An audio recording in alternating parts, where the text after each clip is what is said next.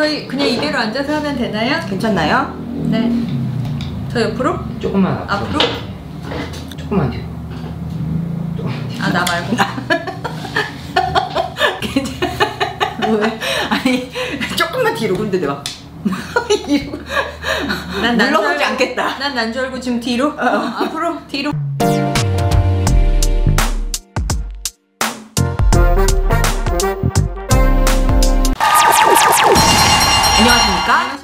KTV 김민정. 윤경입니다. 네. 아, 또 오늘은 이렇게. 또 날씨도 좋고 하니까 칼라칼라한 거를 좀 입고 싶어서 딱 뽑아왔는데 역시 음, 그러네요. 우리는 초록이죠. 그러네요. 요즘에 초록이 좀 네네네네. 꽂혀 있거든요. 네네. 저희가 지금 네. 한창 꽂혀 있는 게 또 하나 있지 어, 않습니까? 초롱초롱한 눈으로 얘기할 수밖에 아, 없네. 정말 죽어버릴 것 같아요. 넌 너- 추앙하니? 당연. 나는 추앙해.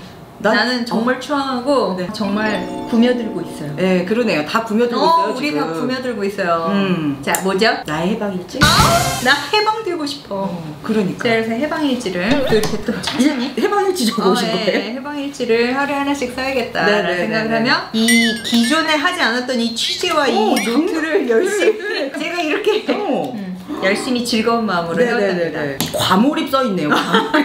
제가 여기다 과몰입 동그라미를 어, 이렇게 그랬네요. 지금 제가 과몰입 되어 있기 때문에.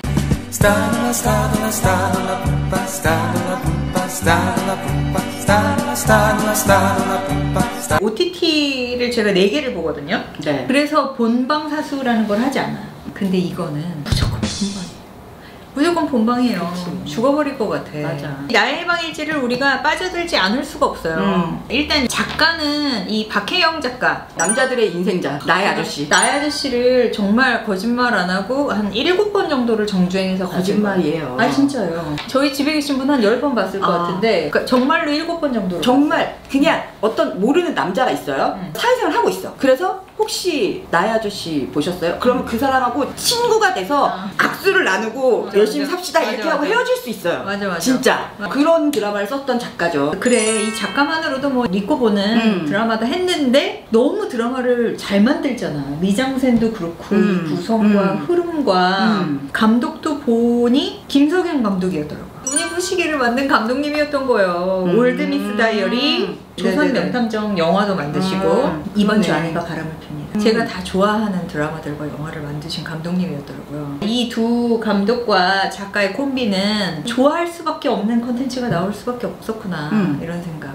지금 이제 한 10회 정도 이제 완전히 가장 드라마의 정점에 있는 네. 회차에 있는데 맨 처음에 저쪽에 스타 군단하고 음. 나의 해방일지가 붙는다고 이제 얘기를 했었고 그랬을 때 엄청 기대하고 봤었던 사람들의 코멘트들은 1, 2회가 너무 어둡다. 음, 너무 맞아. 어둡고 너무 맞아. 스토리가 뭔지 모르겠다. 맞아 안 그래도 지금 3도 너무 어- 어두운데 드라마까지 이렇게 어두운 걸 봐야 음, 되나? 음. 이런 코멘트들이 있었고 그래서 다들 1, 2, 3, 4는 약간 선본 여자 한 세 번은 만나본다라는 마음으로 본 것 같아요. 근데 1, 2, 3, 맞네, 4를 맞네, 딱 맞네. 보고 났더니 갑자기 잔잔한 호수인 줄 알았는데 알고 봤더니 바다야. 뭐 이런 느낌처럼 그때부터 추앙 얘기가 어, 않았어? 딱 나오고 추앙, 추앙 으로 끝났어 어, 추앙? 추앙이 뭐야? 아니 그러니까 나는 내가 잘못 들었어 나도. 그래서 앞으로 10초 앞으로 돌려서 듣고 10초 앞으로 돌려서 듣고를 세 번을 했어 응. 추앙이란 단어를 우리가 쓰질 않으니까 근데 그 한 단어로 끝났지 어, 끝. 끝났어 어. 모두 지금 인스타에 추앙이라는 어, 쓰며 계속 쓰면서 인생 처음 쓰는 것 같은 그 단어를 그렇게 하고 나서부터 모든 스토리들이 끊어져 있는 줄 알았던 아이들을 어. 다시 탁 어. 이렇게 매듭이 탁탁탁